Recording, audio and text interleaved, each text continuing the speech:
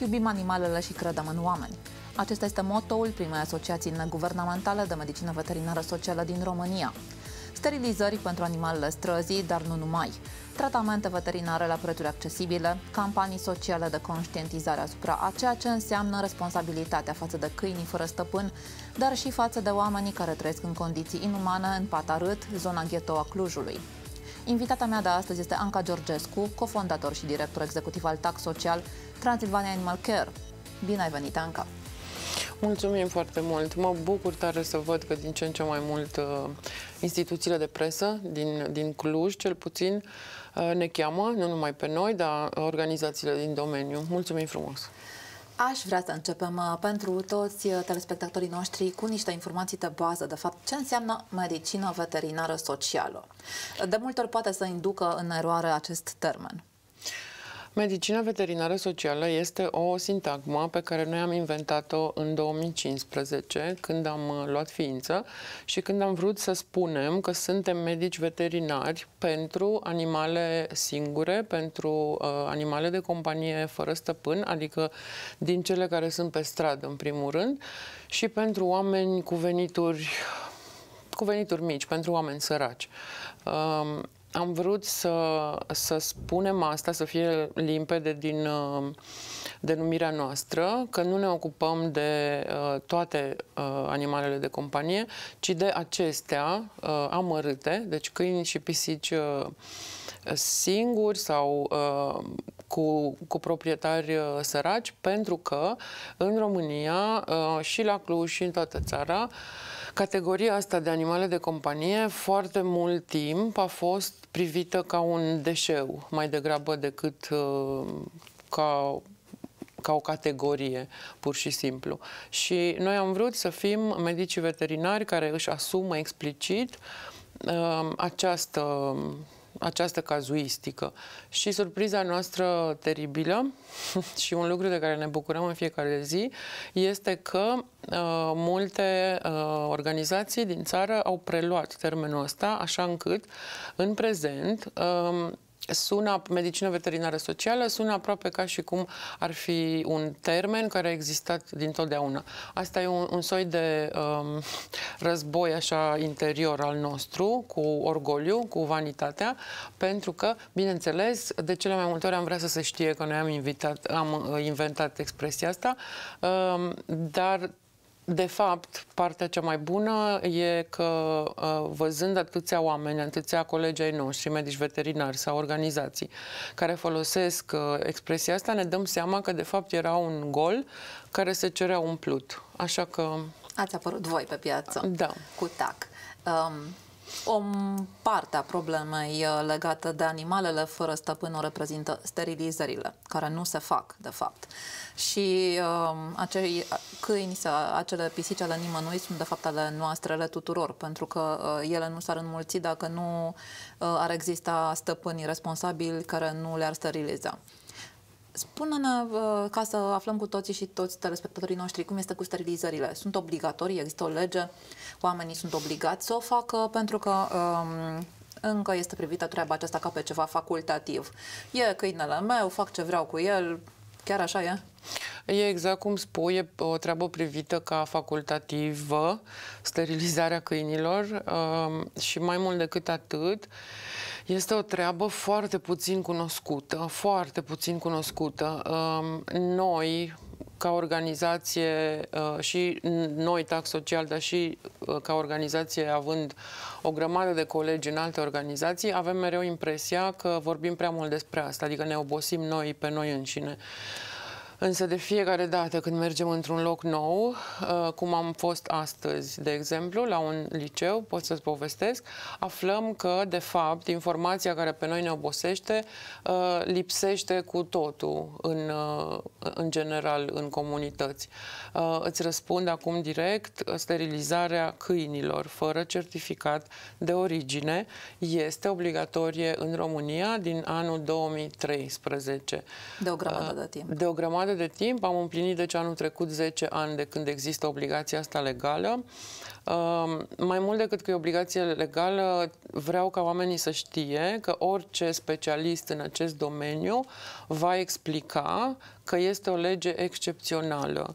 E o lege excepțională în România, la problematica care există în România, dar e o lege, uh, colegii noștri din Europa ne spun că suntem cumva o țară privilegiată sau norocoasă sau vai ce deșteaptă țară suntem că avem această lege obligatorie. De ce? Pentru că sterilizarea e singurul fel în care reducem numărul de câini de pe străzi, din adăposturi și uh, în felul ăsta viața acestor câini care vor exista tot timpul, de fapt, uh, e mult îmbunătățită. Dar te rog să mă oprești tu, pentru că eu nu mă pot opri cu sterilizarea. E un subiect despre care vorbești cu plăcere. Da, și este și un subiect important. Uh, vreau să te întreb în legătură cu această lege care există uh-huh. de un car de ani. Ea există, dar se aplică cu adevărat? Există instituții care um, au grijă că legea să fie aplicată și uh, vin uh, în consecință cu niște amenzi în cazul în care proprietarii uh, decid că uh, respectivul animal propriu din o gradă nu are nevoie să fie sterilizat pentru că, nu știu, diverse motive. Există repercursiuni sau consecințe prin care se poate aplica legea și se aplică cu adevărat? Răspunsul scurt este nu. Uh, am, am să încerc să fac așa o mică radiografie a, a situației. În momentul în care apare o lege, e necesar și e de bun simț ca ea să fie comunicată dinspre autoritatea care uh, urmează să o aplice uh, către comunitate, că pentru comunitate avem mhm. legile. Uh, în domeniul ăsta, la noi, uh, există ANSVSA, Autoritatea Națională pentru Sănătatea siguranță alimentară. Pentru noi îi spunem Ministerul Animalelor, ca să fie mai simplu, care are în fiecare județ câte un birou uh, județean, evident, se numesc DSV-uri, Direcții Sanitar Veterinare. Ei sunt primii care ar fi trebuit acum 10 ani sau în orice moment să uh, inițieze uh, comunicarea acestei, uh, acestei legislații, pentru că nu vorbim de fapt numai despre sterilizare, ci despre o grămadă de prevederi legale care protejează animalele, care asigură respectarea drepturilor animalelor. Um, ANSVSA-ul, DSV-urile județene, de asemenea, ar fi trebuit să lucreze uh, în parteneriat uh, cu poliția română, pentru că în România ANSVSA-ul și poliția română, deci Ministerul Afacerilor Interne, au obligații în sensul ăsta. Nu s-a făcut lucrul ăsta, adică legea a fost dată, ea e uh, inclusiv acum când vorbim aproape necunoscută. Uh, însă aș vrea să spun, uh, cred că e prima oară când spun asta așa în, la televizor, să zicem, uh, în afară de aceste două instanțe pe care le-am amintit, uh, Medicii veterinari au o, uh, ar fi avut, ar putea avea, trebuie să aibă o responsabilitate imensă de asemenea în domeniul ăsta. Uh, spun asta mm, inclusiv ca reprezentant al unei organizații, uh, al unei organizații medicale. Medicii veterinari, însă, din păcate, nici ei nu-și nu consideră că ar fi Sunt în mai niciun permisivi fel... cu treaba aceasta? Sunt mai permisivi, uh, spun de obicei că nu e treaba lor, că ei nu pot să impună. Deși uh, ei sunt prima linie care a tangență cu proprietarul animalului de obicei. Categoric și cu toată mm, smerenia, cu toată modestia posibilă, aș vrea să, să spun că noi în 2019 am făcut exact asta, ce, ce așteptăm de la uh, colegii noștri medici veterinari, uh, am adoptat o politică internă care spune că nu tratăm uh, câini uh, care nu sunt sterilizați bineînțeles cu excepția situațiilor de urgență, dar dacă vrei să fii pacientul nostru curent, trebuie fie să uh, ai câinele sterilizat, fie să-ți asumi printr-o declarație uh, că uh, va fi sterilizat într-un termen de, ca să poți veni la noi pentru prețurile noastre mici și toate serviciile noastre. Sună dur la prima vedere, dar pe de altă parte trăim într-o țară în care, fără să există niște consecințe, nu se întâmplă nimic, de fapt, fără să existe acele amenzi sau, nu știu, repercursiuni în caz că nu respecti o anumită lege. Acum, legat atât de sterilizarea animalelor, care este obligatorie, dar și uh, legat de protecția lor. În cazul în uh-huh. care mhm. există un uh, animal rănit sau uh, un animal abandonat, uh, Care este circuitul sesizărilor care se pot face? La cine să apeleze oamenii de rând care observă un caz de maltratare a unui animal sau un animal rănit? Pentru că de foarte multe ori nu știu. Uh, eu personal am întâlnit în cazuri în care mi s-a spus, uite, am avut nevoie, am sunat la poliția animalelor, nu răspunde nimeni. Am sunat la poliția poliția clasică, au spus că nu e treaba lor. Am sunat în altă parte la care i Centrul de Gestionare al Câinilor Fără Stăpân, au zis că nu e treaba lor. E un fel de circuit în care fiecare se spală pe mâini și pasează pisica, între ghilimele pisica, mai departe. Pisica și câinele, da. Exact. Cum, uh, cine are atribuții în a lua problema în mână, a o rezolva, a o duce până la capăt, a amenda uh, înfăptuitorul? Um, Aș vrea să separ întrebarea ta ca să fie limpede despre ce vorbim. Dacă găsim un animal rănit, da. uh, deci dacă nu, dacă nu vorbim despre maltratare, ci despre un animal singur rănit, Bun, sau da, nu neapărat un singur, da? rănit, da? ok. Uh, în cazul acesta? Îl ducem la un cabinet veterinar unde vom plăti. Uh, ce se întâmplă, din păcate, de cele mai multe ori, este că oamenii privesc un animal singur ca nefiind responsabilitatea lor. Înțeleg foarte bine asta. Într-un fel e și firesc, pentru că nu dacă întâlnim, nu știu, un copil singur, un copil fără părinți pe stradă, uh, evident că te adresezi autorităților, uh, adică nu consideri imediat că e responsabilitatea ta să ai grijă de el, dar să lăsăm subiectul că e prea, e, e prea larg. Deci un animal rănit, singur, nu mai întoarce capul, aș spune eu, și du la un medic veterinar. Uh, poate să fie foarte scump, este foarte scump pentru că medicina veterinară e uh, pe alocuri mai scumpă decât medicina umană, dar în orice caz e scumpă, sau uh, caută-ne pe noi în Cluj-Napoca, uh, promitem că nu refuzăm niciodată animale, nu refuzăm să tratăm animale pe motivul ăsta, că ar fi uh, fără stăpân, murdare, singure, etc., sau pentru că omul n-ar avea bani.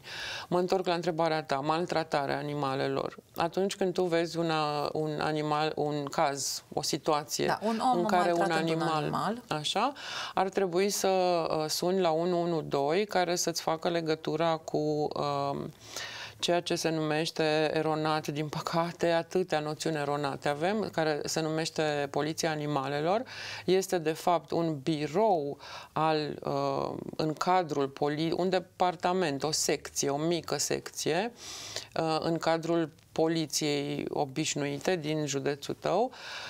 Uh, acești oameni care se presupune că ar fi pregătiți specializați în cazuistică, în legislație, că ar avea experiență, etc., uh, ar trebui să acționeze da, cu viteza, cu promptitudinea unui 112, um, să constate, să zicem, infracțiunea, să aplice niște sancțiuni care pot merge până la a uh, lua animalul din grija abuzatorului. Chiar dacă acesta este stăpânul de drept. Categoric, exemplu. da.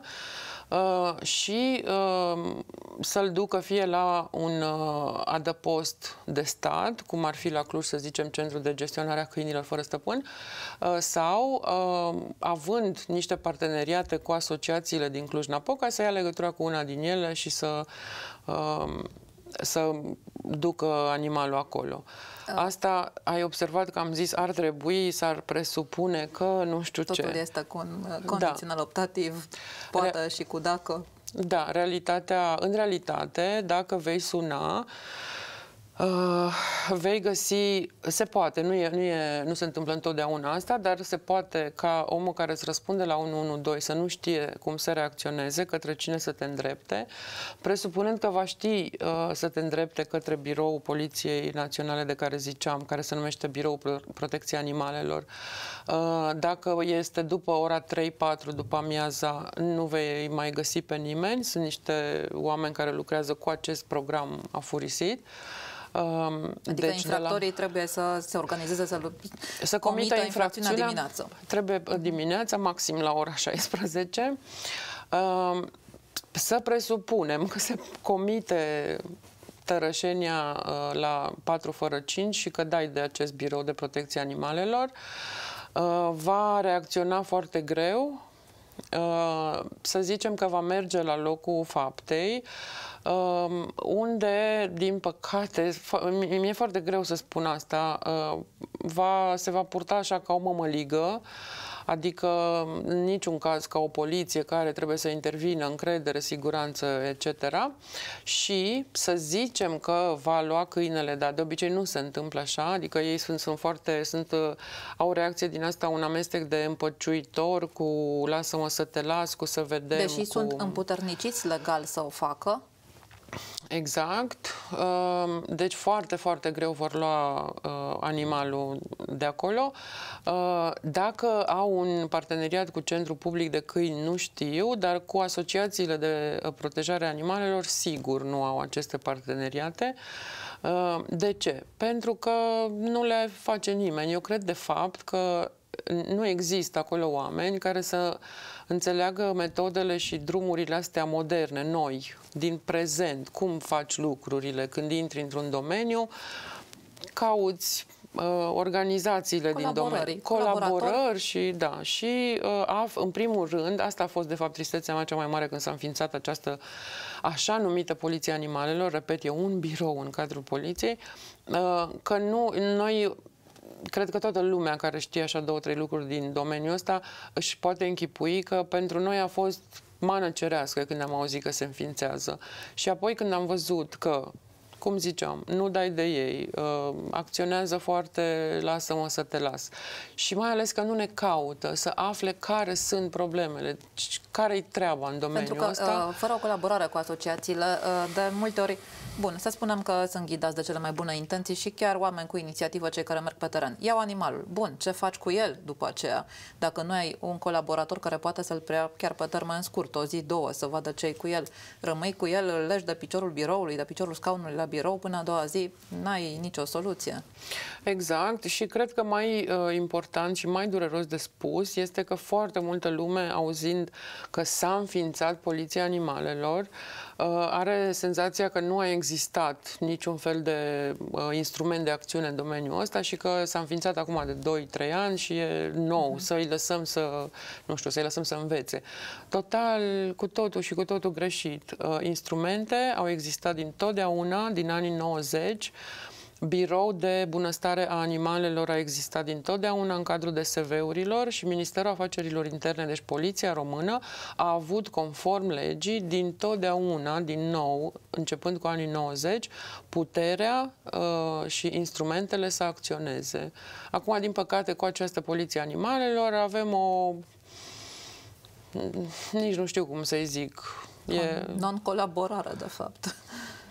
Da, da, voiam să spun că nu e o instituție nouă, așa cum s-a, cum s-a lăudat uh, ministrul de interne care a, înființat, care a spus că o să o înființeze și, din nou, s-a promis acum câțiva ani de către, îmi poți aminti cum îl chema pe domnul Vela, așa, așa. era ministrul de interne, uh, pentru că el era un om așa mai, nu știu, sensibil, îi plăceau câinii, a aflat de nu știu ce caz cu niște pui și, bineînțeles, ca tot, uh, ca tot un politic de anvergură, s-a pus pe Facebook uh, cu pui respectiv și a zis vom înființa Poliția Animalelor. Câteva luni mai târziu n-a ieșit Poliția Animalelor ca instituție, ci din nou un birou care se cheamă așa. Um.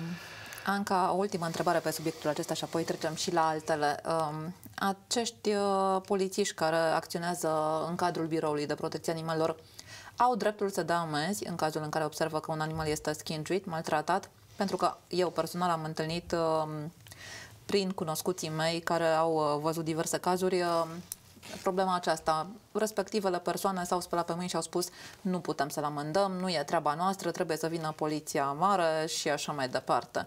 Noi nu avem dreptul să amendăm uh, persoana care lovea cu un, nu știu, un băț, un câine, uh-huh, de mhm, exemplu. Uh-huh.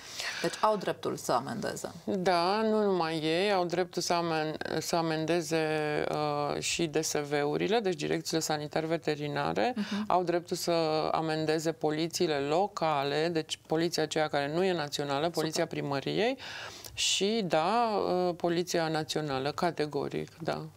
Bun, să ajungem acum la un subiect iarăși care este în uh, ceață, din ce aud eu în jurul meu uh, și cunosc mulți uh, iubitori de animale, dar chiar și aceștia nu sunt în clar cu anumit termeni. Uh, ce înseamnă o asociație pentru protecția animalelor, o asociație sau un ONG? Uh, foarte mulți iubitori de animale salvează, găsesc un câine, îl salvează și nu știu ce să facă și este normal dacă nu ai mai avut animale. Și uh, apare imediat întrebarea la ce asociație să apelezi ca să-l preia respectiva asociație. Deci, foarte mulți oameni au impresia că o asociație, um, nu știu, are un sediu mare, adă posturi, țarcuri libere, bani, gârlă, acești bani cad de undeva, țin căciula și vin banii, uh, iarăși există o uh, impresie, din câte știu eu, total greșită, că statul ajută cumva aceste asociații sau uh, primesc niște fonduri din partea statului, iar uh, responsabilitatea asociațiilor este să preia câinii fără stăpân. Obligatoriu. Da, și obligatoriu. Uh-huh. Cum e de fapt treaba, de fapt? Uh, tu nu știi, dar mi-ai pus o întrebare mai, uh, mai, mai țintită decât uh, crezi, pentru că uh, vin de la un liceu din Cluj, unde am avut o, am fost invitați la o oră de școală altfel, unde am vorbit uh, exact despre asta și am început cu întrebarea. Uh, copiii erau în clasa, sunt în clasa nouă și am întrebat dacă știu ce înseamnă ONG. Am insistat dacă știu ce înseamnă organizație neguvernamentală. Am insistat dacă știu ce înseamnă o asociație sau o fundație. Copiii au fost minunați. Uh, cum sunt toți copiii, nu știau. Erau în clasa nouă și nu știau. Nu știu copii, dar nu știu nici adulții. Nu știu nici... Asta încercam să spun scurt că Deși avem senzația că notăm în informație și sursele sunt mai multe decât putem duce, sau poate tocmai de aia, cultura civică ne, ne doare foarte, are multe găuri. O asociație, cum mă întreba, este o organizație neguvernamentală, adică chiar numele ei spune că este acel grup de oameni cu personalitate juridică de obicei, dar poate să nu fie, poate să fie, nu știu, un grup de inițiativă care nu s-a dus la tribunal să-și ia acte, uh, care uh, face treburi uh, care trebuie făcute și de care guvernul, prin toate ramurile lui, nu se ocupă suficient sau nu se ocupă deloc. Um, întrebarea ta e foarte largă, aș lua numai bucățica în care m-ai întrebat uh, Uh, dacă pentru o asociație e obligatoriu da. să... Nu, nu e obligatoriu. Uh, și apoi, uh, altă întrebare a ta, dacă primim bani de la dacă notăm în niște bani primiți de la primării. Sau diverse sponsorizări, cumva există bani acolo, buget și nu faceți cu ei ceea ce consideră oamenii că ar trebui să faceți. Noi ne lovim foarte mult de uh, uh, părerea cum că toate, orice se cheamă asociație sau ONG, cred că asta sună, ONG sună așa mai misterios, oricare dintre ele primește bani de la buget. Nici vorbă, nici vorbă, nici vorbă. Nici măcar când cere, cum e cazul nostru pentru patarât, nici măcar când cere nu primește, dar aminte să primească automat. Nu, nu, nu, nici vorbă. Uh, nu știu dacă avem noi așa de mult timp, aș zice pur și simplu uh, că oamenii pot să pun așa cum caută o grămadă de chestii pe telefon, pantofi, haine, mâncare, nu știu ce, pot să pună ce este un ONG, ce este o asociație. Și din două, trei propoziții o să înțeleagă. Deci, practic, asociațiile nu primesc bani de nicăieri. Uh, de cele mai multe ori și din ceea ce cunosc eu, asociațiile pe care le cunosc, asociațiile sunt formate din 2-3 oameni care se zbat cât 10 ca să facă rost de banii aceia pic cu pic prin uh, sponsorizări și donații și asta înseamnă că bați din ușă în ușă și cer bani și te milogești pentru acel procent uh, de 2% sau cât vine um, pentru cine dorește să doneze. 3,5 acum, da, da. exact. Practic, uh, aceștia sunt, uh, acestea sunt singurele fonduri pe care uh, le aveți la dispoziție. Da, de, mai sunt granturi pe care le putem obține, finanțări naționale sau internaționale. Dacă uh, aveți oameni care se pricep să facă asta. Da, și uh, în domeniul nostru al animalelor, cel puțin, uh, sponsorizările uh, sunt încă ceva n-aș zice interzis, dar uh, există așa două categorii neoficiale, nedeclarate. Dacă ești un ONG, o asociație, să zic, un ONG, uh, care se ocupă de copii, bătrâni, mediu, uh, educație, sănătate, așa cum sunt ele, după părerea mea, în gust privite, atunci ai acces complet și nelimitat la, nu știu, finanțări din astea, uh, la programele de CSR ale companiilor. Din păcate, dacă ești o organizație care se ocupă de animale, încă nu ai acces la aceste Uh, la aceste bugete ale companiilor. De ce? Pur și simplu pentru că, anim, că domeniul animalelor, uh, al uh, animalelor de companie, deci câini și pisici în, în mod special, încă nu e văzut ca fiind suficient de demn uh, încât e o cauză să primească... de mâna a doua? E o ca... Exact, exact, perfect, uh-huh. ai spus, da. Încă e o cauză de mâna a doua. Cred că un mail pe un astfel de mesaj pe care l-am primit de la un finanțator în România, posibil finanțator, am, am crezut noi, n-are mai mult de două săptămâni. Deci uh, am văzut noi acolo lista cu, cum îți ziceam, educație, sănătate, nu știu ce, copii. Uh, întrebarea noastră era chiar despre o posibilă finanțare pentru uh, programul nostru de la Pata Râd, care include copii de la cap la coadă, uneori e mai mult despre copii decât despre câini. Asta și vreau să te și... întreb și chiar vreau să detaliem puțin și campaniile voastre de acolo. Da, și totuși răspunsul a fost, uh, vă spun cinstit că nu, nu, încă nu finanțăm uh, animale.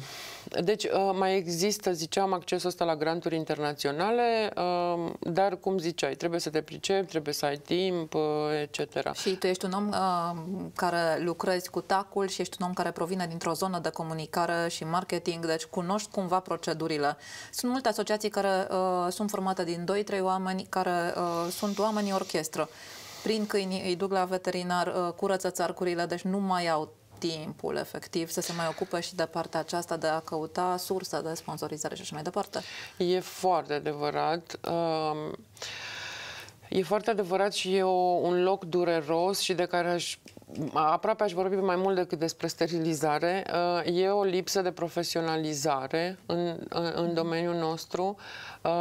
Uh, Motivul însă este exact ăsta. De câte ori uh, suntem așa de copleșiți de, uh, de cazuri care uh, trebuie rezolvate acum, imediat, pentru că e vorba de viața unei ființe, e vorba de rană, curge sânge, adică trebuie să acționezi imediat. Încât nu apuci, nu mai apuci niciodată să ai liniștea, relaxarea, odihna, timpul și spațiu de a dezvolta aceste direcții indispensabile dintr-un ONG. Cum ai zis, marketing, comunicare, fundraising. Și fără de care nici banii nu vin, nici exact. nu puteți avansa, sunteți cumva, bateți pasul pe loc pentru că vă ocupați de problemele stringente de camere da. de urgență, cum ar veni. Exact, exact, da, uh, da. Vreau să ne mai spui, Anca, te rog, de ce v-ați orientat uh, înspre acele campanii sociale care vizează Patarât. Este o zonă uh, roșie, între ghilimele, a Clujului, o, o zonă care nu face cinste orașului uh, și uh, partea din motoul vostru duce la ideea că uh, vă ocupați atât de oameni uh, cu posibilități reduse cât și de animale. Cum ați ajuns chiar la Patarât? Și uh, de ce nu aveți nicio umbră de îndoială să vă puneți cizmele și să lucrați acolo în acele condiții care nu sunt pentru uh, toate nasturile, haide să spunem așa? Așa, niște întrebări bune îmi pui că eu vreau să mai vin aici. Te așteptăm cu tot dragul. Uh, se, serios, uh, așa... Se, se, vede că se vede că îți pasă și că, și că înțelegi domeniul ăsta. Uh, noi eram, deci, în 2000 2015 uh, apăream. În 2016 am deschis cabinetul nostru veterinar, care e o întreprindere socială, în sensul că dacă facem profit sau când facem profit, aia 5 lei profit, uh, revin asociației. Adică cabinetul nostru veterinar e deținut 100% de către ONG, de către asociație. Uh, și în 2016, deci, aveam cap, deja cabinetul și făceam treabă la cabinet și treabă în campanii în alte locuri din, uh, din România, în afara Clujului. Și uh, la un moment dat ne-a venit pur și simplu în minte ideea asta că noi știm că ceva la Patarât cu câinii, hai să vedem. Și am mers acolo și nu cred că te poate pregăti ceva cu adevărat uh, ca să nu te poate pregăti nimic să mergi acolo și să vezi uh, mulțimea de oameni și de câini. Adică a fost mult mai rău decât știam noi și de, decât știam din auzite. Am văzut acele sute de câini trăind printre acele mii de oameni și mizeria indescriptibilă de acolo și ne-am dat seama aproape imediat că nu se poate să facem marketing, cum ziceai, adică să vorbim despre noi că ce mândri suntem și uh, eroi și lucrăm și ne sacrificăm și pentru așa. altă parte. Exact, și să tot mergem în, în țară să operăm și să nu facem nimic pentru patarât. Și atunci am început un proces destul de lung, greu, obositor, de uh, obținere a uh, unui grant internațional Uh, din partea organizației Dogs Trust, adică pur și simplu în același fel de care vorbeam înainte, stând la masă, studiind, citind, căutând, documentându-ne, uh, am aflat de organizațiile internaționale care oferă fonduri. Uh, am ales-o pe, pe asta, Dogs Trust, și uh, ce să-ți spun că după ce am avut succes, adică după foarte, acum povestea foarte, o spun eu în forma ei cea mai scurtă, uh, am primit niște bani uh, 36.000 de euro și am zis nu se poate ca primăria Cluj-Napoca, când va vedea că aducem la Cluj-Napoca și bani, și oameni, și know-how-ul englezesc și internațional, nu se poate să nu ne însoțească ca partener invitat în, acest, în această acțiune. Ei, ce să vezi, că primăria ne-a dat cu un flit ne-a trântit ușa în nas chiar cu o brăznicie prin uh, regia autonomă a domeniului public condusă de domnul Pantelimon. Deci nu s-au uh, implicat deloc în campaniile Nu voastre. numai că nu s-au implicat. Țin foarte mult să, să spun asta, pentru că ăsta e adevărul. Dacă, nu, dacă ar fi zis, ne scuzați, avem alte priorități, ar fi fost una. Am fost mințiți Uh, și dați afară și amenințați la telefon de către uh, acest domn, uh, Pantelimon, de ce treabă are RADP-ul. Uh, o altă ciudățenie a noastră uh, este că încă punem câinii, deci serviciul de gestionare a câinilor fără stăpân, pe care trebuie să-l aibă orice unitate administrativă, uh, noi îl dăm, în, îl punem în curtea regiei autonome a domeniului public, adică asociem câinii cu gunoiul, cu deșeul și acolo îl dăm, la RADP. Uh, de cele mai multe ori, și o să fiu finuță, acum RADP-ul, deci oamenii care se ocupă de gunoi, nu au competență uh, să se ocupe și de câini. Cu siguranță, da mai ales dacă, gândindu-mă la o altă emisiune pe care am văzut-o cu mare plăcere, uh, o altă emisiune a ta, uh, mai ales dacă ne gândim că în prezent, câinii și pisicile nu mai sunt niște, așa cum am învățat noi în comunism, uh, vagabonzi, deșeuri, trebuie stârpiți, trebuie carisați. Sunt niște ființe care au drepturi, pentru care există Convenția Europeană pentru drepturile animalelor și așa mai departe. Uh, nu știu dacă ți-am răspuns la întrebare. Este, da, este un răspuns și, într-adevăr, chiar bun. Și vreau să te mai întreb, Anca, în ceea ce privește Centrul de Gestionare al Câinilor Fără Stăpân, Um, cum e situația pe Cluj, cum e situația în alte județe? Știu că sunt multe județe din țară unde se mai omoară câini după 14 zile. Ăsta e așa un subiect despre care nu se prea vorbește decât pe grupurile de protecție animalelor, iar în rest um, oamenii preferă să întoarcă privirea și să se gândească la ceva mult mai plăcut decât la faptul că după 14 zile acele animale fără vină, uh, doar cu vina de a se fi născut nu într-o curte a cuiva, ci pe stradă, sunt omorâte, omorâte efectiv. Um, nici măcar nu m-aș nu, nu asta e prima, um, cum să zic, nu asta e cel mai grav și uh, dureros sau, mă rog, tulburător că omorâm animalele astea. Uh, le omorâm degeaba, adică dacă le tot uh, vom face asta la nesfârșit, pentru că nu omorâtul e soluția, ci uh, sterilizarea, deci reducerea numărului de câini și uh, educația, mă rog, pe termen mediu și lung asta, dar uh, nu omorâtul ăsta e, e soluția. Mă întreb ce se întâmplă. La Cluj sau în general? În țară? Și, și.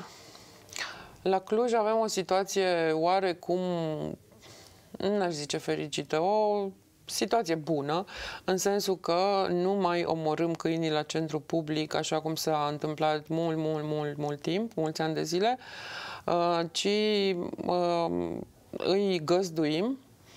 Uh, Problema acolo este că uh, centrul de câini nu este uh, administrat profesionist, el nu trebuie să funcționeze ca un depozit de câini, el trebuie să funcționeze ca un adăpost modern, ca un centru public modern, însă, din nou, uh, avem această problemă a competenței și a neînțelegerii noțiunilor. Centrul e manageriat de medici, care nu au competența asta, adică ce exact ce ziceam înainte, vezi cum se leagă lucrurile, marketing, comunicare, etc. De exemplu, dacă vrei să adopți un câine de la centru de, uh, din Cluj, nu vei putea face, fiindcă pagina de site nu e updatat, nu e actualizată, nu există o pagină de Facebook unde să te uiți. Uh, da, și practic târgu. nu e gândit un sistem în care uh, câinii să intre, dar uh, să și iasă prin adopție, adică nimeni nu-i promovează în mod organizat de acolo, ca instituție promove... de acolo, doar voluntarii exact, care mai exact. postează. Sau alte asociații, Exact, da. exact. Da, adică funcționează la minim, în afară de faptul că nu se omoară câini, nu se mai întâmplă nimic. Adică asta uh, vreau cât să, să nu li se poată imputa nimic, exact, uh, dar nimic exact. mai mult. Exact. Uh, am vrut să te întreb, să ne întoarcem puțin la ce faceți voi la Patarât și uh, acele campanii cu nume foarte drăguțe, nume de animale. Ultima este Linda, campania de la Patarât Linda, numită, supranumită. Uh, ce faceți concret acolo? Deci mergeți, sterilizați câinii, îi răpunați în teritoriu sau ce se întâmplă acolo? O să-mi dai din nou Căutați să... adopții uh-huh. responsabile pentru acei câini sau nu aveți uh, resurse să vă ocupați uh, de așa ceva? Uh, aveți grijă și de copiii care sunt acolo? Încercați să găsiți soluții și pentru ei? Cum funcționează? Uh, vreau neapărat să-ți răspund la uh, uh, în întrebarea anterioară, te rog frumos să ne întoarcem puțin da, la sigur. ea. Nu acum, nu, îți răspund cu patărât, dar uh, aș vrea neapărat să explic oamenilor cum se omoară câinii, de fapt, și cum se fură banii, că de fapt asta e problema, că de fapt irosim și furăm bani publici. Uh, cum se întâmplă la patărât? În primul rând, mulțumim frumos că ai spus că se cheamă frumos programul. Noi am uitat deja că e frumos, într-adevăr. Linda a fost numele primului câine pe care l-am luat de la Patarât, avea o sârmă înfiptă în ochi. A stat cu noi la cabinet pentru că era foarte bolnavă și a murit câteva luni mai târziu și așa ne-am gândit că, uite, în memoria ei, să numim acest program Linda Patarât, cu speranța că, nu știu, Patarât va deveni la un moment dat Linda. Programul nostru la Patarât are două componente componente. Una este că mergem acolo regulat, luăm uh, câini, îi uh, sterilizăm, vaccinăm, înregistrăm, Uh, și marcăm vizibil pentru oameni, pentru comunitate. Marcaj vizibil înseamnă că au o crotalie pe ureche, așa încât oamenii să știe că sunt sterilizați și noi să știm la fel. Uh, și, cum spuneai, îi punem înapoi. Uh, apropo de modernitatea noțiunilor și a domeniului, procesul ăsta, uh, aproape la toate autoritățile cu care am discutat, a fost, este încă privit ca abandon și mi-a fost mie foarte greu ca om uneori mai tânăr decât uh, omul cu care vorbeam, să explic cu jenă că nu, sterilizarea și repunerea în teritoriu se, uh, este o metodă de management al populațiilor canine mari uh, care se numește Trap Neuter Return, TNR, mă rog. Um, alt lucru pe care îl facem permanent la Patarât este că suntem anunțați de către oamenii din comunitate sau descoperim noi cazuri de câini bolnavi. La Patarât, din cauza condițiilor, um, din cauza că o parte a comunității este la 10 cm de o șosea intens circulată, fracturile, accidentele de mașină sunt teribile, uh, costuri imense, suferință teribilă și inutilă, aș zice eu. Uh, iar a treia componentă a programului este că, uh, tocmai fiindcă am văzut că nu făceam față la numărul de câini, uh, mergând așa constant și luni 3, 4, 5 câini, uh, organizăm acolo campanii, adică mergem noi acolo cu tot ce înseamnă o, o clinică mobilă, să zicem, și uh, sterilizăm și din nou, vaccinăm, înregistrăm uh, câinii cu marea, marea bucurie și onoare uh, de a fi însoțiți de uh, parteneriate, din nou, vorbeam înainte, deci noi între noi știm să facem asta. Noi cu poliția n-am, n-am reușit, uh, în parteneriat cu uh, alte asociații din Cluj, uh, Arca lui Noe și Nuca Animal Welfare. Avem invitați și parteneri pur și simplu, medici celebri din România, din alte zone, cum e doctorul Ovidiu Roșu, cum va fi imediat în mai doctorița Irina Corbu.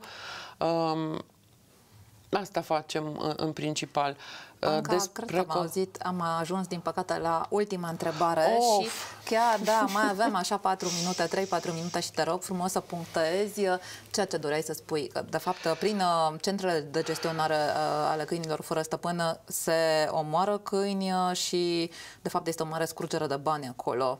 Asta nu. este problema. Da, ești drăguță, nu este scurgere, este furt. Furt și când nu este furt, este risipă. Ce se întâmplă? Legea spune că uh, nu au voie să se ocupe de câinii uh, fără stăpân dintr-o zonă decât ONG-urile. Uh, ce au făcut uh, niște oameni, o să dau un exemplu imediat, au înființat niște ONG-uri doar cât să îndeplinească legea. Ei sunt, de fapt, uh, ceea ce numeam mai de mult hingheri. Uh, fac contracte uh, din bani publici, deci contracte cu primăriile și uh, culeg câinii ăștia uh, și îi vor omorâ. Mm, eu sunt optimistă dacă zic în 14 zile. Nu întotdeauna se întâmplă în 14 zile, pot omorâ și instantaneu.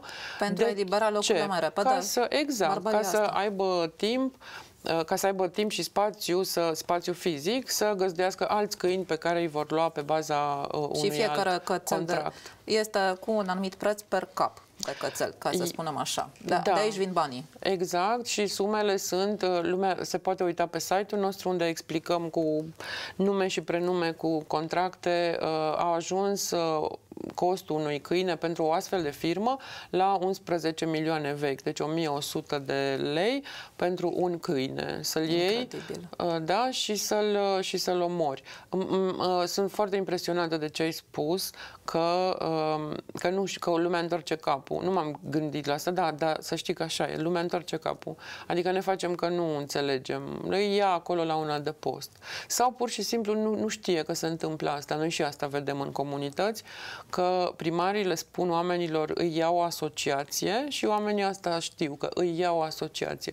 Nu îi iau o asociație, îi iau un grup de oameni uh, de obicei conectat politic, uh, pentru niște sume imense și îi omoară, pur și simplu. Foarte trist și e într-adevăr alt cuvânt decât uh, barbar nu, nu pot să găsesc uh, când aud ceea ce spui. Anca, mulțumim frumos pentru prezența în emisiune. Sper să ne întâlnim cât de repede pentru că mai sunt multe de discutat pe tema aceasta și multe de uh, lămurit telespectatorilor care ne ascultă. Alături de noi a fost Anca Georgescu, cofondator al Asociației TAC. Sunt Cristina Alexa, rămâneți pe NCN TV.